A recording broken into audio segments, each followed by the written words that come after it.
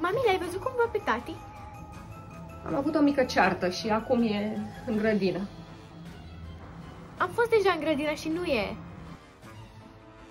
Ai săpat?